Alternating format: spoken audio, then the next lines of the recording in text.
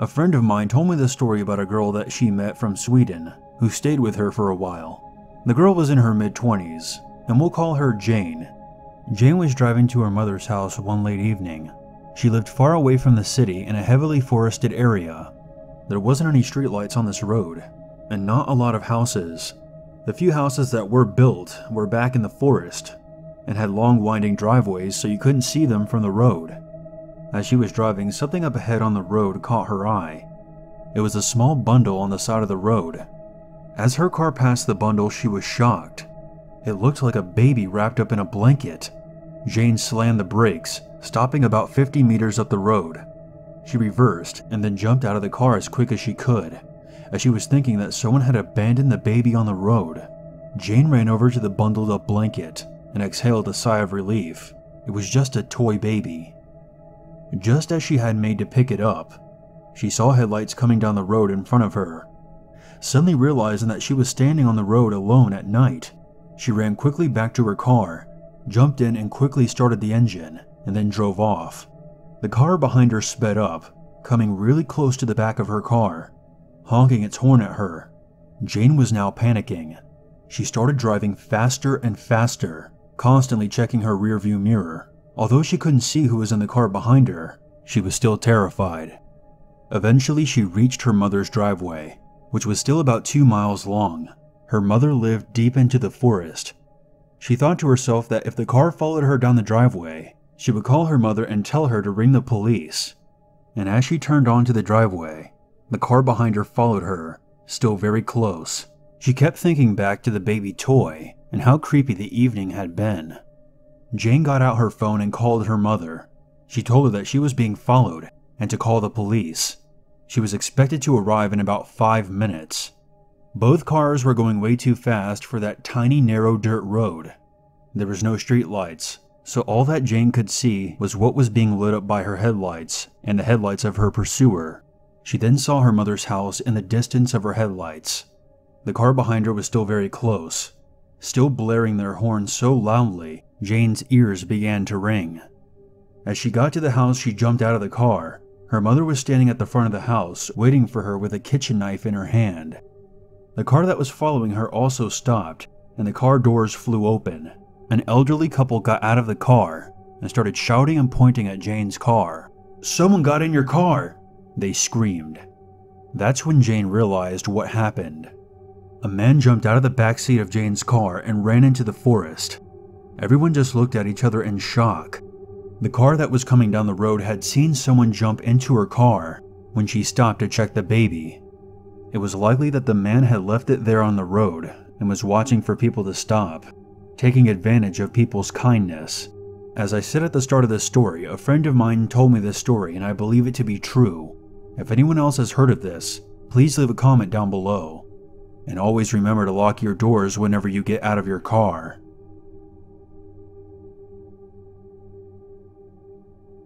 This happened to my sister about 15 years ago when she was still in high school, and I was in middle school.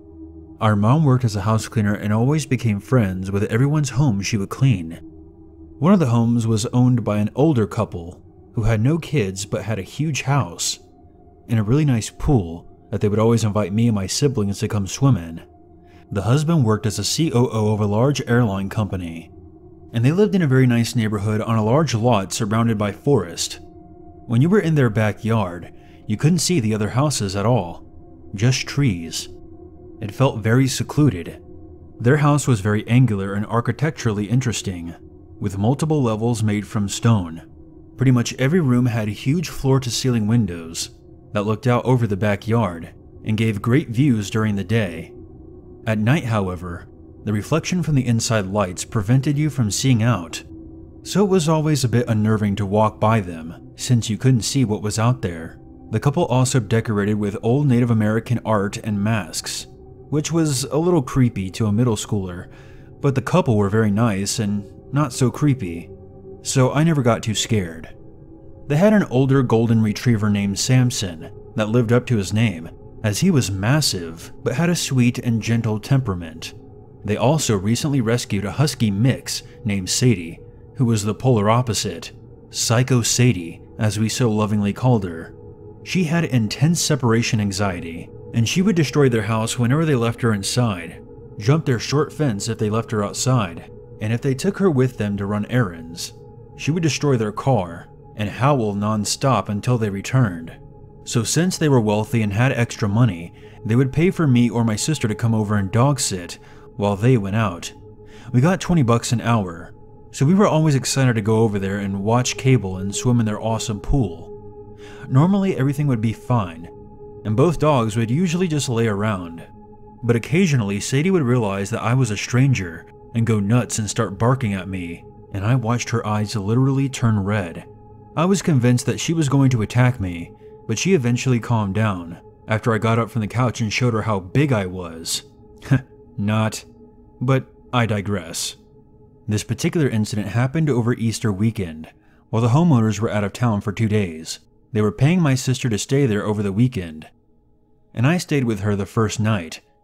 Because it was a big house and kind of scary to stay there all alone, we stayed up late watching movies and eating junk food.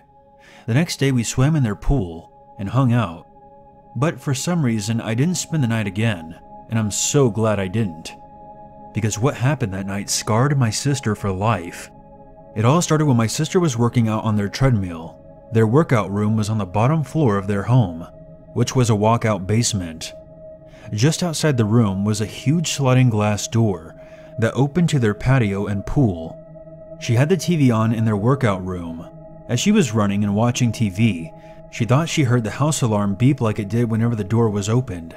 She stopped the treadmill and went to look around and saw that the sliding glass door was opened. Now, this door was huge. There was no way it could have opened by itself, so she was instantly freaked. However, the dogs were just lying there in the workout room, and she figured that they would have gotten up to investigate if someone had come inside, and because Sadie was a bit crazy and hated strangers, she thought that she might have accidentally left the door open and just imagined the beep of the alarm and that it could have come from the TV or the treadmill. She closed and locked the door and went back to working out. A couple of minutes later, she had the distinct feeling of someone watching her. She looked around, but no one was there.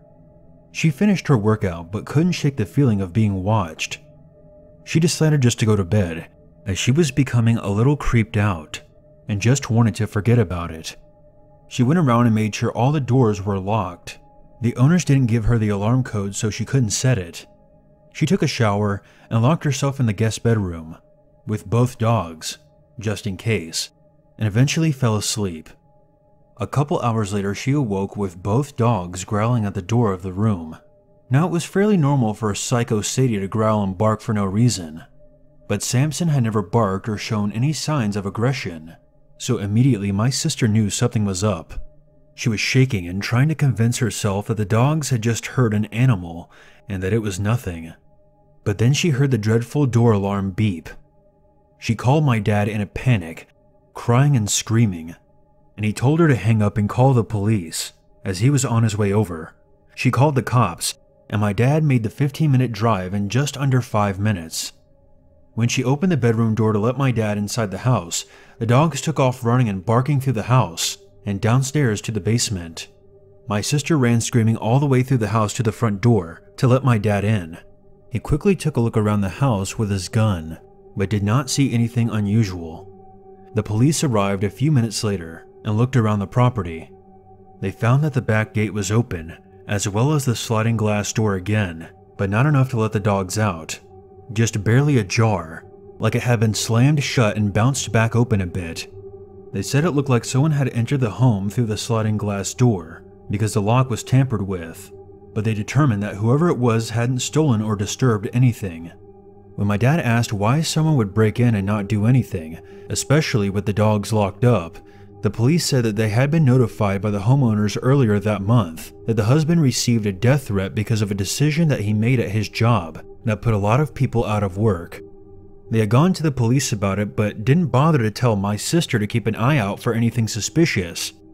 Needless to say, we never dog sat for them again, and they moved out of state within a few months because the husband lost his job. And if you ask me, he deserved it.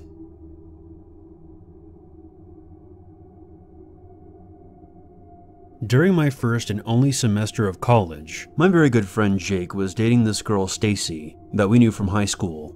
For reference, I'm a female and was 18 at the time. I'm now 26. Now, many people back in high school did not like Stacy, and I was one of them. To me, she was the definition of a sketchy person. She was a pathological liar and not even a good one, as her stories rarely added up, and she would constantly contradict herself, sometimes within minutes after she spouted her lie. She was one of those girls that hated drama, yet it always seemed to magically follow her around everywhere she went. She was constantly in and out of relationships throughout high school, and would go out of her way to prove that they were crazy by spreading rumors about them and getting as much sympathy from everyone around her as she could. She always had to be the center of attention wherever she went. I remember during prom night she was dancing with her then boyfriend, and he accidentally stepped on her foot while dancing. She caused a huge scene about how he was physically abusing her. It was painful to watch. There's much more I could get into about this chick, but in general, she's just an extremely toxic person who nobody should be subjected to be in the presence of. It's also worth noting that she had a drug problem that she would often try to hide. This will come into play later. Anyway, back to the story. Jake and Stacy had class together and hit it off rather quickly. Jake was skeptical at first, but when Jake brought up her reputation in high school, Stacy claimed that she was raped by her ex-boyfriend, and that was why she acted the way she did, and that she worked on getting better and was now fine. My friend, being incredibly insecure about being single and being way too trustworthy, believed her and began dating her soon after. The relationship was extremely dysfunctional and was rampant with emotional abuse and manipulation on her end. But the aspect that I want to focus on was her constantly trying to squeeze money out of him and her aforementioned drug problem. Stacy would constantly ask Jake for small amounts of money, usually ranging between 10 and $20. Jake didn't mind all that much, as he bought into her story of struggling financially, so he felt bad. But one day she asked him for $500 to cover her rent, to which he refused. She flipped out on him and didn't talk to him until she drunk dialed him late that night and began revealing that she was doing drugs. And it was all because of how terrible her life was and that he wasn't helping. I don't know why he didn't break up with her then and there, but the next day they talked it out and made up and the issue was dropped. Here's where everything finally comes to a head. It was around 10:30ish on a Friday night. And keep in mind that they have been dating for nearly 2 months at this point. I'm chilling in my living room with another friend of mine. We're sitting on the couch bullshitting about stuff going on in our lives when I get a call from Jake. Jake explained to me that Stacy was hanging out at her friend's house and asked him if he could come pick her up around midnight, as the buses in that area stopped running after 8, and she needed to be in work at 9 the next morning. He said sure, and as the time he needed to leave to pick her up drew closer, his mother called him saying that she was working overtime and wouldn't be out until around midnight, and she had the car. He asked if I could drive with him to go pick up Stacy. I'll admit that I would rather have left her to her own devices, but he sounded desperate and he's an amazing friend who would do anything for me, so I did him a solid and told him to start walking over to my house. He gets to my house about 40 minutes later. My friend went back to her house. She lived across the street from me, and Jake and I got in my car. He texted Stacy and told her that we were leaving now, and that I was driving him to which she said the dreaded K. We got to Stacy's friend's house, which was located on the outskirts of town in a pretty sketchy neighborhood. The road was very poorly lit, and to my luck, the streetlight in front of Stacy's friend's house was off. I refused to park in front of there, as I didn't feel comfortable sitting in the dark, so I parked three houses down, between two cars under a functioning streetlight. Jake texts Stacy, Hey, we're here. She didn't respond. As we were waiting there, a truck drives by, and I noticed about four men in the truck. At first, I figured maybe they were lost and looking for an address, but this thought was thrown out the window when not even two minutes later, the truck drives by again. This time slower. The guy in the front passenger seat makes direct eye contact with me as the truck passes by my car. I tell Jake something is definitely wrong and to call Stacy so we can leave. He agrees and calls her. It's dead quiet outside, so I hear the conversation. She answers and says, Hey, where are you? We're down the block. Come outside. I'm looking outside and I don't see your car. We're in my friend's car. It's a gray Subaru. And almost immediately after he says that, the phone call drops. Jake just looks at his phone in complete confusion, wondering what the hell is going on. I'm starting to get extremely nervous now. Between the truck that was circling around before and Stacy's sketchy behavior, I decide that something is up. I'm not just going to be a sitting duck. I pull out of the spot and drive up in front of the house. And as I'm pulling out, I hear a vehicle loudly in the distance behind us. I look in my rearview mirror and see the truck from before now quickly driving up the block. I freak out and floor it out of the spot and begin speeding up the block. The truck catches up with me, and Jake yells at me to turn and that they're trying to shoot the car. To my horror, I look behind me, and the guy in the back seat is leaning out the window with a gun in his hand, aiming at my car. I quickly turn and floor it down the road as they struggle to follow behind us. I made another turn left, narrowly missing an oncoming car, and I slammed on the gas. Luckily, I'm halfway down the block by the time they turn onto it. I'm surprised I was driving as well as I was at the time. Jake said I looked extremely calm and determined during all of this, but inside I was freaking out. I was worried that they were going to run me off the road, or we were going to get a bullet in the back of our skulls. I made another left turn and drove like a bat out of hell towards the highway. The truck turned on the block, but then stopped when I got close to the highway. I turned onto the highway and merged into the next lane. A few minutes passed by with us going back and forth questioning on who those guys were and what they wanted. When Jake gets a call from Stacy, he picks it up and puts it on speaker and shakily says, "Hello? Where are you? I'm fucking waiting for you." She screams. He explains the situation, to which she proceeds to call him a liar and says that he was never there and he was standing her up. Jake loses his shit and screams at her that we almost got killed and calls her out on her bizarre behavior throughout all of this. She starts yelling again, but then she goes silent and we hear a door quietly open and someone calling in the background. They got away. Stacy, where the fuck are you? Silence follows this for a few seconds before the line goes dead. Jake and I look at each other, and Jake said, She had something to do with this. Long story short, we spent the entire drive theorizing on why this happened, and we think we may have hit what happened. Jake brought up her asking for money before, and when she asked for $500, she probably needed the money to pay off a dealer. She had to find another way to pay off her debt. We think that she set us up to head to that house, and those guys who were probably the dealer and his buddies would conveniently show up, looking to rob us of everything and possibly jack the car hoping that it would cover her debt.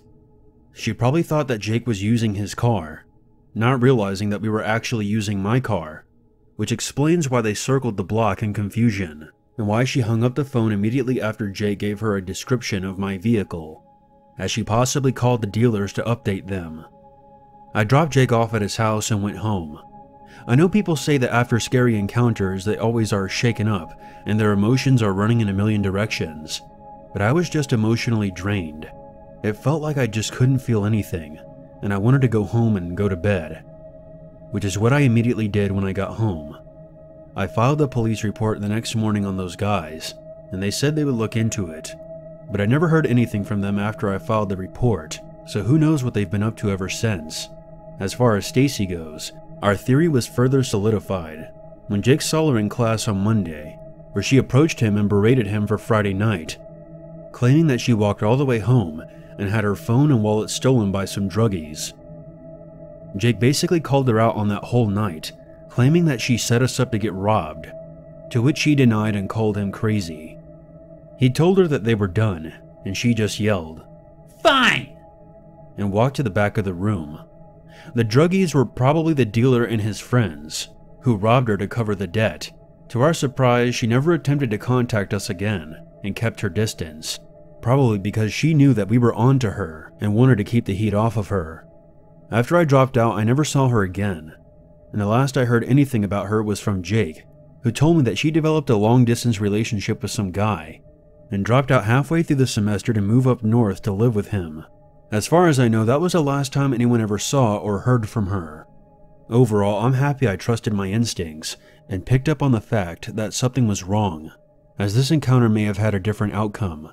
In hindsight, they most likely weren't going to kill us, but it's easier to say that after the fact, because at the time, we didn't know what their intentions were, and for all we know, they may have even planned to do more than just rob us. So Stacy and the four men in the truck, my life has been going perfectly fine since we met. Please do me a favor and don't ruin it by crossing paths with me again.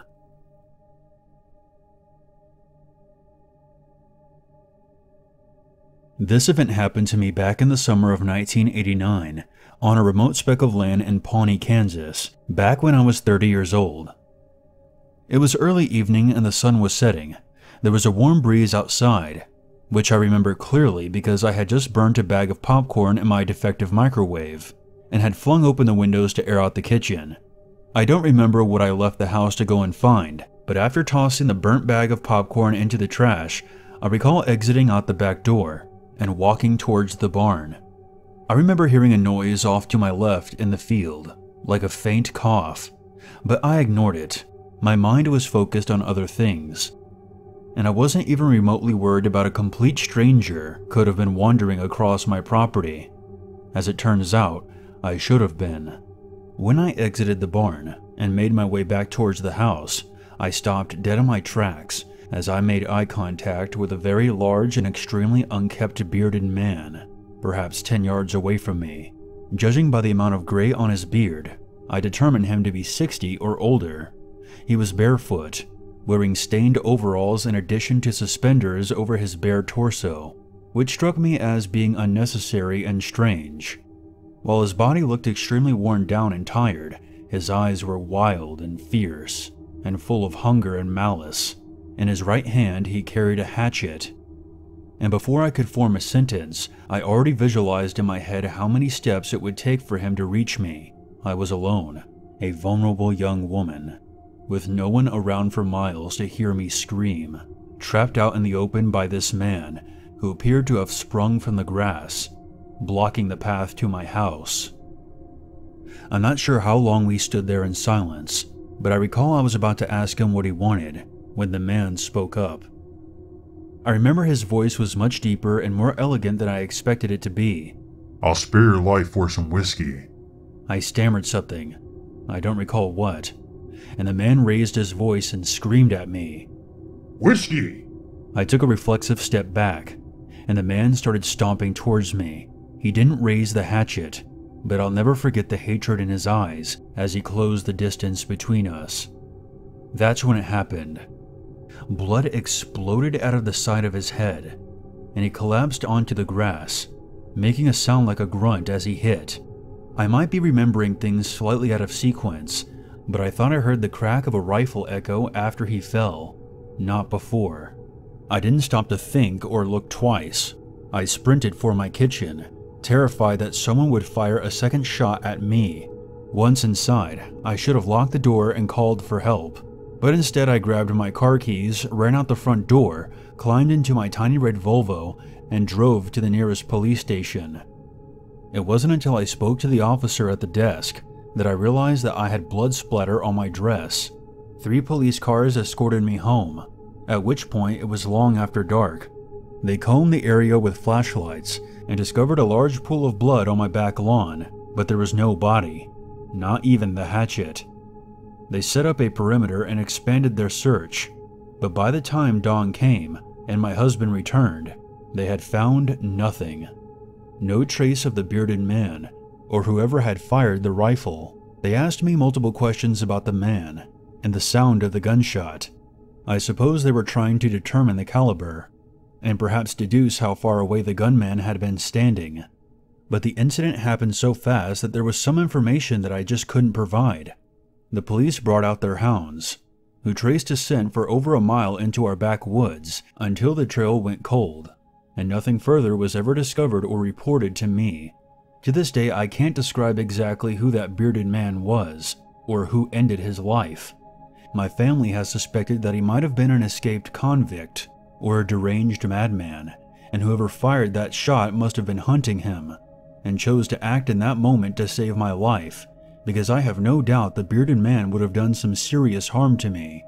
Sometimes I can bring myself to feel grateful to the unseen shooter, but other days I feel cold inside and afraid, knowing that regardless of whatever my family reasons or suspects, I'll never know for sure if that person with the rifle had not actually been aiming at me.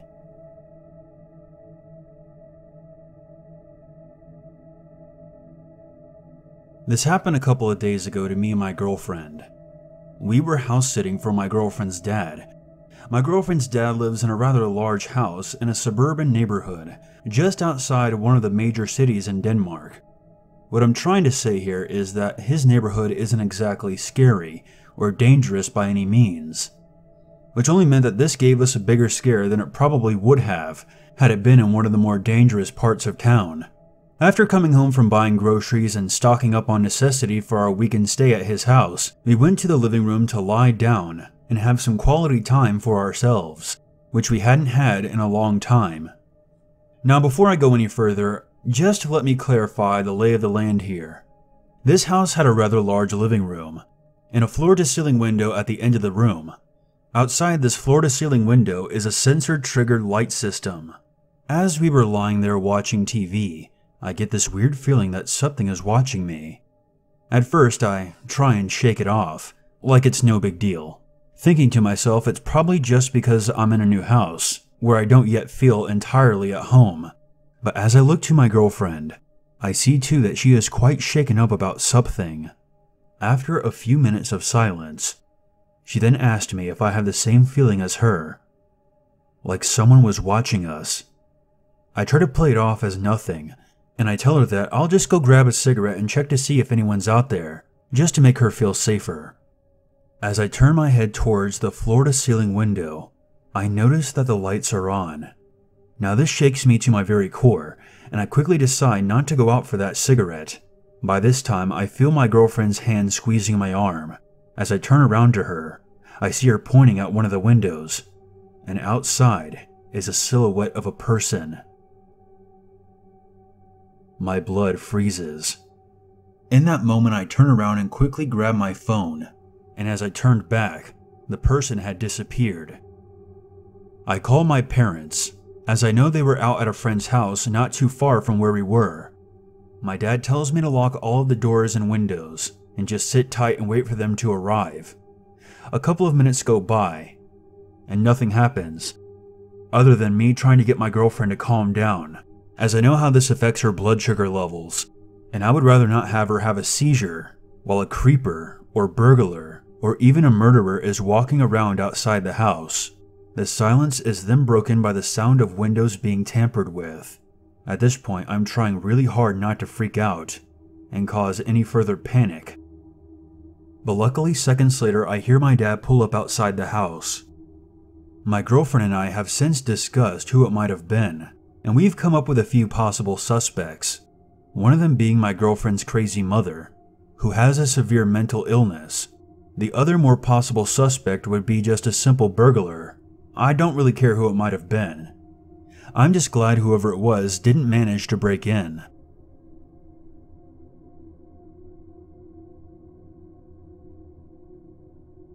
This happened four years ago in the early hours of New Year's Day. For reference, I was 17 at the time, and I was in my senior year of high school. I was around 5'10 and weighed about 160 at the time. I lived in the suburbs. I was at a New Year's party being held by a friend of mine, whose house was a 20 minute walk away from my own.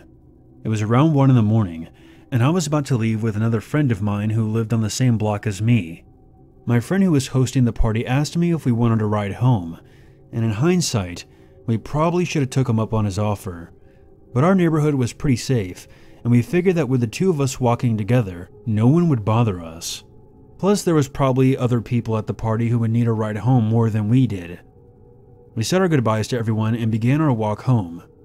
The road was predictably empty with no one but us walking along the sidewalk, and maybe the occasional car passing by. Everything was pretty well lit, so we weren't walking in complete darkness. My friend wanted to pick up a pack of cigarettes on the way home, so we stopped off at a gas station along the way. When we got to the gas station, it was nearly empty, with only a woman at the pump filling up her car, and a guy outside the front of the store on his phone. We went inside and my friend bought a pack of cigarettes. We walk out of the store and my friend immediately lights his cigarette. We reach the sidewalk and we hear someone behind us yell, Hey man, wait up! We look behind us and we see the guy who was in front of the store quickly walking towards us. He looked to be in his early to mid 20s. He was around 5'8, maybe 140 pounds by the looks of him. He approached us and asked if he could get a light. My friend and I did not think much of it, and he lit the guy's cigarette. The guy thanked him, and we began walking away. But the guy continued to follow us, asking us where we were going. We told him that we were heading home. He said that he was at a party and he was heading back over there, as he left to get some fresh air. He asked us if we wanted to come to the party. This is officially the point where red flags start going off. Why the hell would a guy in his mid 20s ask two teenage boys if they wanted to go party with him? We told him bluntly that we didn't even know who he was. Nor did we know anyone at this party he was talking about, so we weren't going. The guy starts laughing and says that we seem like cool guys. He told us that we needed to lighten up. My friend and I told him that we were 18 and 17 to see if that would get him to leave us alone. To this, he just chuckled and said that age didn't matter to him. He had a brother who was 16, that he partied with him and his friends all the time. Jesus Christ, can this guy take a hint? I thought to myself. We were a little less than 10 minutes away from our houses, and we didn't want this creep following us all the way there. I told him firmly, Dude, we're not going anywhere with you. Now quit following us and fuck off. The guy gets livid and starts screaming at us for being unfriendly and considerate assholes, and that he was just trying to be nice. He then starts throwing racial slurs at my friend. It's probably worth mentioning by now that I'm white and my friend is black. My friend yells at him to get away from him before he cracks him in the face, and then the guy proceeded to run away from us. My friend and I look at each other in complete disgust over what happened, and spent the next five minutes walking and talking about the creepy guy. We both agreed that he was probably drunk or high from a New Year's party. Next thing we know, we hear a car behind us. It proceeded to slow down to match our pace. We see the windows roll down, which revealed the guy we had just seen a few minutes earlier, with who we presumed to be two of his friends. One of which was a man probably the same age as the guy, and a woman in the back seat who had to have been in her mid 30s. The guide tells us that we got off on the wrong foot, and then asked us once again to join them at the party. My friend and I look at each other and I whisper to him that we needed to get away from them. My friend tells him that we're not going with them and to leave us alone already. The guy was silent for a few seconds and then said, You're coming with us, one way or another. They pull over quickly and get out of the car, which caused my friend and I to immediately go into flight mode. We turn right on the side block and my friend yelled, Run to the park! We'll lose them in there. We looked behind us and to our horror, the three people were running right for us. We run into the park and once again we look behind us, and this time they were even closer. We ran for a thick patch of trees that covered a good portion of the west side of the park, hoping to evade them. I was panicking at this point, because I couldn't see a damn thing, and I was worried that my friend and I would trip over something and get captured by one of these sick freaks who wanted to do God knows what with us. We hear one of them trip and fall behind us yelling, Fuck! And luckily we see light again, and we made a left onto the path. We heard more yelling behind us, and one of the guys saying, Shit, they got away. The woman yells at them to split up and search the park. We bolt towards the bathrooms, which thankfully were open, and we hide inside. We took a minute to catch our breath, as our lungs were practically burning at this point. We should have called the cops and just hid until they got there. But at the time, we were so focused on getting the hell away from those crazy people that we decided to try and make our way to the nearest exit of the park and run to my house. We waited for about two minutes, we then bolted out of the bathroom and towards the exit of the park. Shortly before we exited the park, we heard one of the guys yell from somewhere behind us that he found us, and we were getting away. We looked behind us to see the guy in the distance starting to chase after us. We ran until we reached my house, and I quickly opened the door and we ran inside. We both just sat there in silence, trying to regain our energy and calm down after what happened, hoping they didn't see where we ran to. I looked out the window several times over the course of 10 minutes, and thankfully, they never showed up again. We talked about it and we were glad that we were both okay and that nothing bad happened to us. We were trying to figure out what they wanted from us. Did they want to kill us, rob us, or something worse? My friend hung around for another half hour before he insisted on heading home. He left and I went to bed. I kept thinking about what happened. I eventually fell asleep and I woke up and told my parents about what happened. They were thankful that me and my friend were okay, but were upset with us that we chose to walk home and we should have accepted the lift from my other friend, or even called them and they would have come and picked us up. Regardless, we filed a police report and I gave them all the information I could. Unfortunately, we never heard anything about it again, and I sometimes wonder what the hell they've been doing ever since. I really hope they never harmed another person after that. I can't express enough how thankful I am that we managed to get away from those freaks, and to this day, this incident is still the scariest thing that's ever happened to me in my life. It definitely made me more wary of my surroundings. And I try my best to avoid situations where I would need a walk late at night, rather if I'm by myself or not. I don't know what would have happened if those people got their hands on me, but I do know one thing. I never want to meet those people again. Ever again.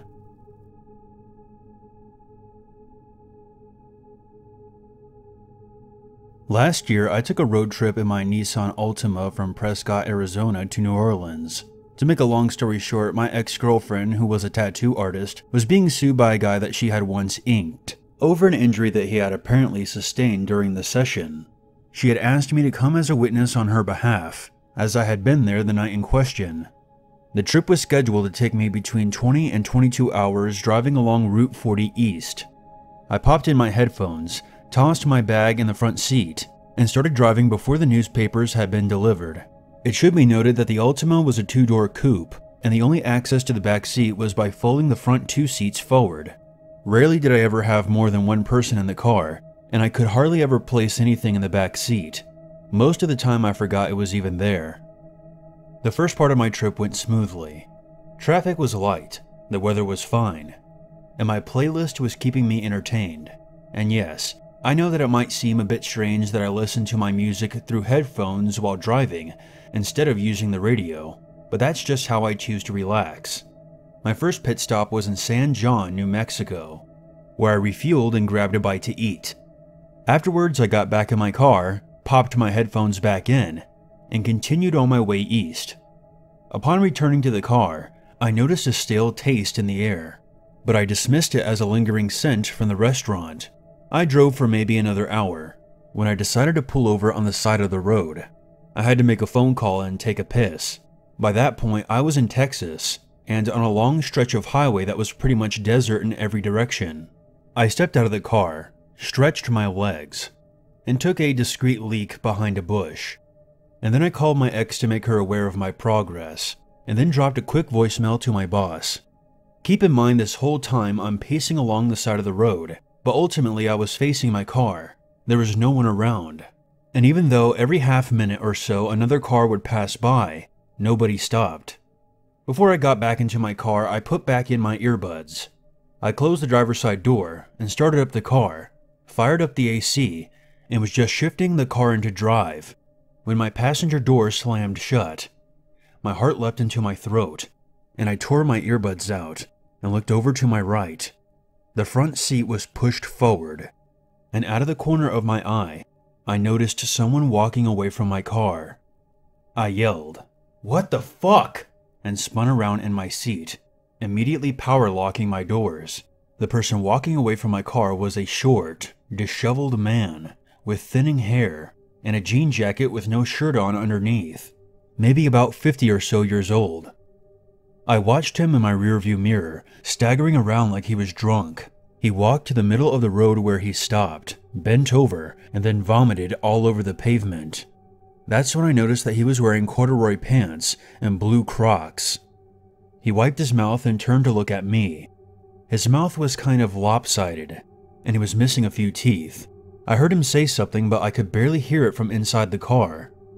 I dialed 911 and gave the operator an estimate of where the guy was and that he tried to get into my car. I watched as the guy began walking off into the desert. Hanging off his belt on his back, I noticed one of those leather pouches retail employees keep utility knives in. I told the operator he had a knife and drove off. Whatever was going on, I didn't want to get involved and potentially get stabbed. I was so shaken up that I didn't stop again until I was running on fumes. Playing in my head over and over again how that guy had gotten so close to my car without me noticing. Where did he even come from? The next time I stopped for gas was when it hit me. I didn't smoke, but there was an empty cigarette pack in my back seat. That's why the stale taste had been in the air. He had been lying in my back seat ever since I left San Jon, and I hadn't even noticed. When the door slammed, he hadn't been trying to get in, he had been getting out. I had been listening to my earbuds the entire time, and I hadn't heard or noticed anything. He could have stabbed me at any point, and I would have never seen it coming.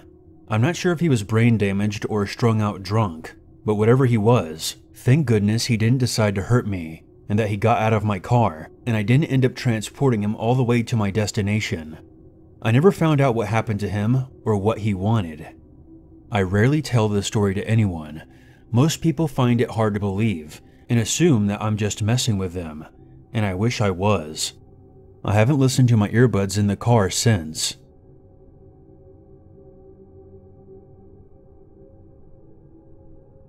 Someone that I used to know as a child committed an act so cruel and disturbing that I wish I had never met them before in my life. My parents found a house in a poor neighborhood that was south of Washington state. When we first moved in, me and my family introduced ourselves to the neighbors, where I met some kids around my age. One neighbor, who lived two houses down, established a friendship with my mother, and they became very good friends. They were both mothers and connected with similar interests in art. The neighbor's name was Heather. Heather had two kids, and at the time they were both in high school. Their names were Sierra and Jordan, and my mom wanted me to meet them since my parents were looking around for a babysitter. She wanted it to be someone that she could trust, since the area wasn't the greatest environment for kids. After spending some time with Jordan and Sierra, I got to know them a little, and frankly, I enjoyed their company while they watched over me as babysitters. Hanging around them made me feel much more superior than the average five year old. Jordan was a rebel teen who would constantly get in trouble at school. My mother was not a fan of Jordan getting in constant trouble, so my mom stopped having him over. Sierra was a very kind and courteous person and began babysitting me by herself. She was a freshman in high school and needed the money. She became my childhood babysitter. She had no history of being in trouble at school or at home, so my mother gladly let her babysit me. Sierra would play board games with me, cook my favorite macaroni and cheese, and I gradually became closer to Sierra within a short span of time. My parents at the time received full time jobs, so they asked Sierra to babysit me more, and in return, she would get paid more from my parents. She took up the offer, and I spent more time with her every day. I began to think of Sierra as one of my best friends at the time.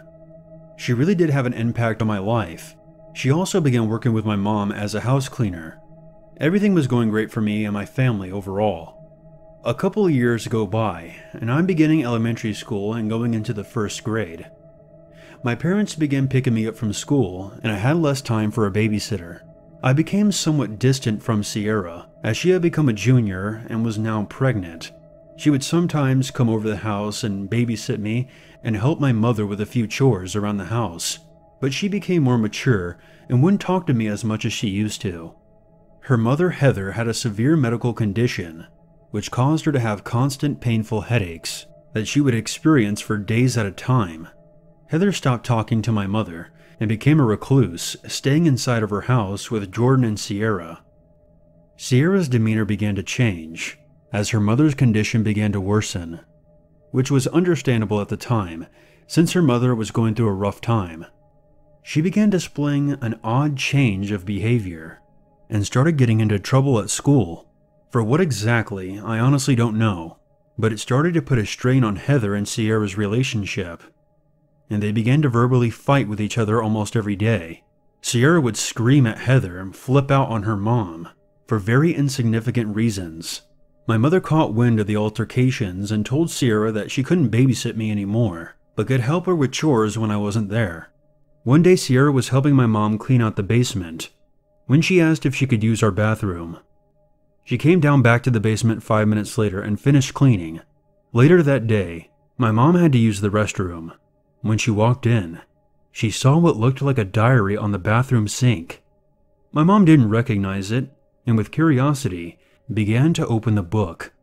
What was in there was absolutely terrifying, as my mother found sections of the diary which graphically talked about rape and molestation. My mom never got into specifics about what was in the diary, and still doesn't like talking about it. My mother found Sierra's name on the back of the diary, and immediately called Heather and confronted her about Sierra's diary. Heather stated that Sierra had taken cuts from one of her books and began writing them down in her diary. Heather acted like Sierra did this all the time and it was no big deal. My mother then told Heather that Sierra was not allowed back at the house and she wasn't going to be working with her anymore. She purposely left that diary there, but for what reason? I honestly don't know. Sierra had begun to claim that my neighbor Rodney had sexually assaulted her. Everybody in the neighborhood became skeptical of Sierra's claim due to her troubled behavior and never having much interaction with Rodney. Sierra never called the police, and Rodney was never questioned about the accusations. Heather's medical condition worsened even more, and as a result, she died while Sierra and Jordan were both in their senior year of high school. Sierra dropped out of high school and claimed that she would be moving to Arizona with her then boyfriend. She ended up moving out and going out to Arizona while Jordan moved in with his dad. When they left, my parents thought they would never hear from Sierra again, since she had moved on with her life. A few years go by and I didn't hear anything about Sierra or Jordan, and frankly, I kind of forgot about them over the years. One day my parents talked to John, a neighbor who lived across the street. He asked my parents if they remember Sierra, and if they had heard from her since. My parents said they hadn't heard anything about Sierra since she moved. John said that he saw Sierra on the news, and that she had been arrested for child neglect. Police in Arizona arrived at Sierra's home after she called 911 when she found her daughter deceased. She had been collecting welfare and living in a trailer with her two children. Those kids were neglected and suffered from malnutrition, as Sierra became fat and wouldn't give the children barely anything to eat. There wasn't any air conditioning in the trailer, and Sierra would leave her kids in the trailer and go live at a friend's house or a boyfriend's house. She ended up going to trial in court for manslaughter and is now serving a 16 year prison sentence. I can't believe to this day that someone that my family trusted with me and was a best friend of mine for the majority of my childhood years would do something this cruel and inhumane. I wish that she never has another child in her life and never gets another dollar from welfare. Sierra, fuck you.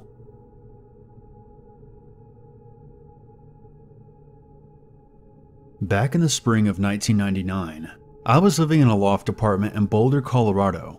The ceiling above my kitchen table leaked whenever it rained, and the window unit air conditioner was louder than a freight train, but otherwise it was acceptable and cozy, with a great view of the Rocky Mountains.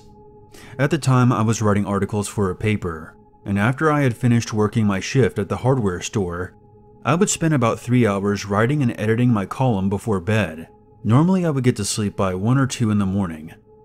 Directly across the hall from me was a second loft apartment, which had been empty for a few years, before a middle aged woman and her cats eventually moved in. They were the only two apartments on the second floor of the building, but our doors didn't have numbers or indicators, such as apartment A or B, to distinguish the two separate residencies. I had a P.O. box and I never received any mail at home anyway, so it didn't really bother me. But it did cause some confusion that I believe nearly resulted in my death. One evening I was typing away on my computer while listening to soft, classical music on the radio. When I got up to refill my glass of wine, I walked past my front door, and completely on a random impulse, I decided to look out the peephole. I don't know what I expected to see. It was just after 1 in the morning after all, but sometimes you just need that peace of mind, which is exactly what I didn't get. Standing outside my neighbor's door, directly across from me, was a short, heavy-set bald man with gloves on his hands, but no shoes on. I remember spotting his gray socks against the dark wooden color of the floorboards. He wore a dark green windbreaker and jeans, and appeared to be testing the knob of my neighbor's door. I remember the sensation of my heart skipping a beat. I had no idea who this man was. I had never seen him before in the building. But it was his actions more than his appearance that made me uneasy. It was clear that he was trying to be very quiet. He had no key, but was cautiously turning the knob back and forth to see if it was unlocked. I stared at him suspiciously for perhaps 30 to 40 seconds, concentrating very hard on keeping quiet, aware that if he got the door open, I may have to run and find my phone to call 911. After another few moments, he released her knob and bent down to open a gym bag by his feet that I hadn't noticed before. I caught a side view of his face, and he looked older than I had initially expected. Suddenly noticing his face made me nervous for some reason and I began to feel my palms starting to sweat. Realizing I still had my wine glass in my hand, I took a careful step away from the door and set my glass down on the table.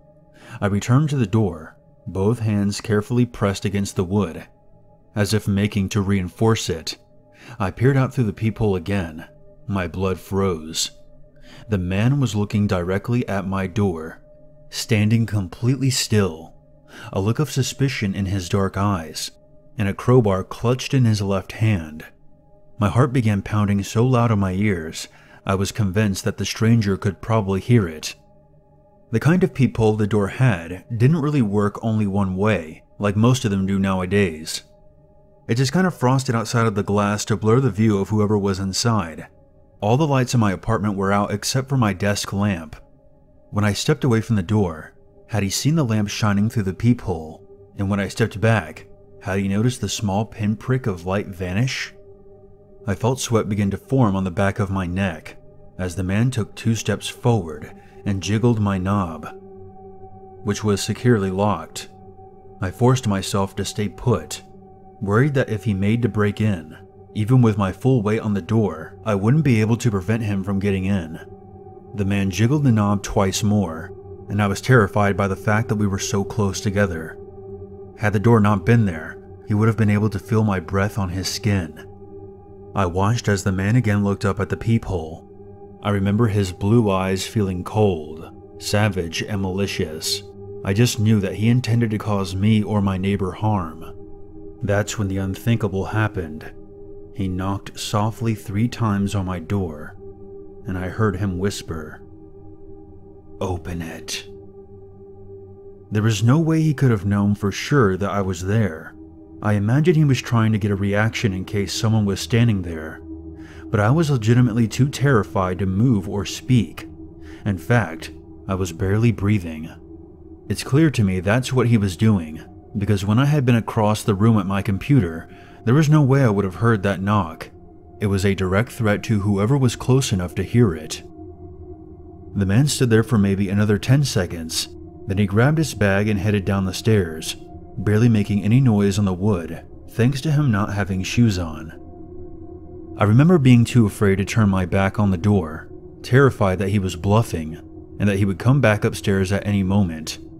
I made myself count to 20 and then I took a deep breath, walked across the room to my desk, and picked up my Nokia cell phone and called the police. Whispering the entire time, I informed the operator that there was a suspicious man right outside my apartment door, but I had barely spoken for a full minute when she informed me that a squad car was already en route to that address.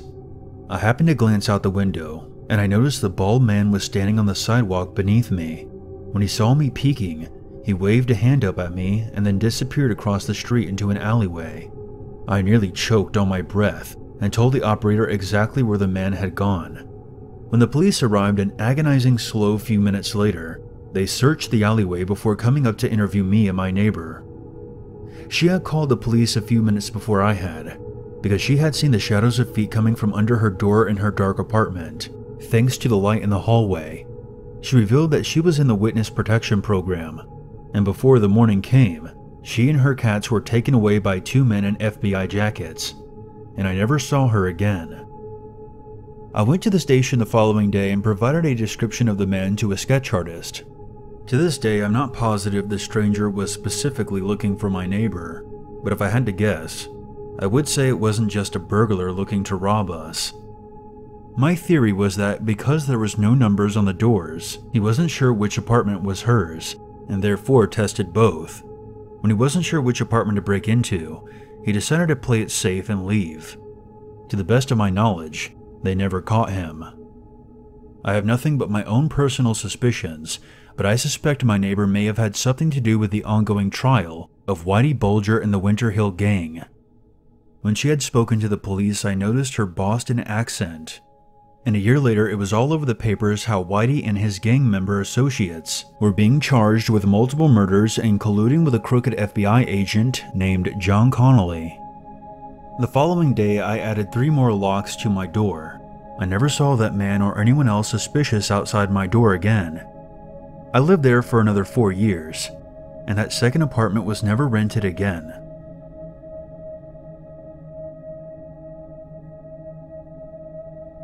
This past August, I picked up a lot of side jobs house sitting, while working at a ranch that gave horseback riding lessons.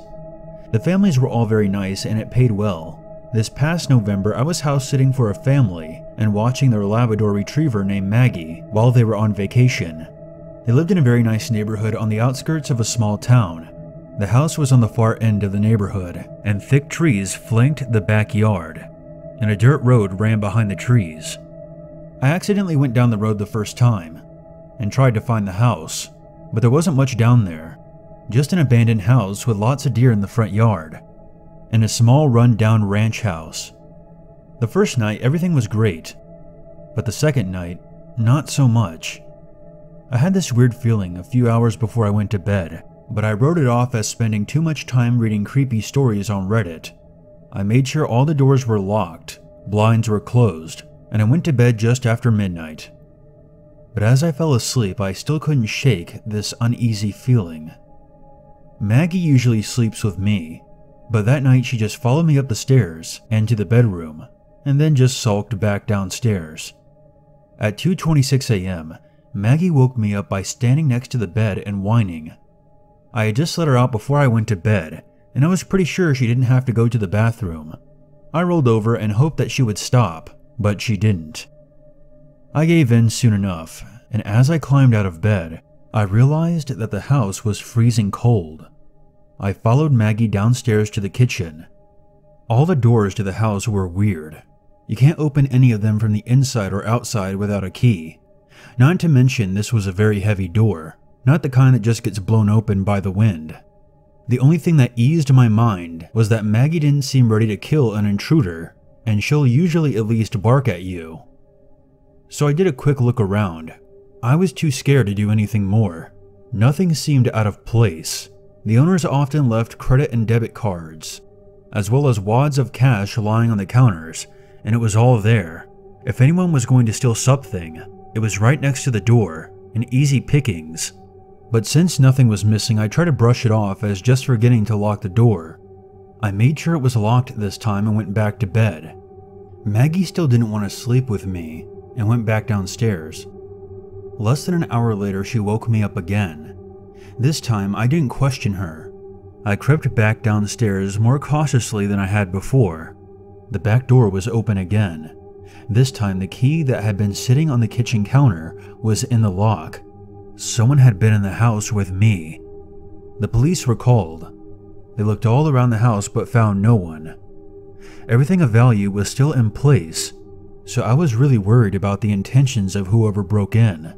The family was shocked that something like that happened and have since moved to a large farm 20 minutes away and now have video surveillance.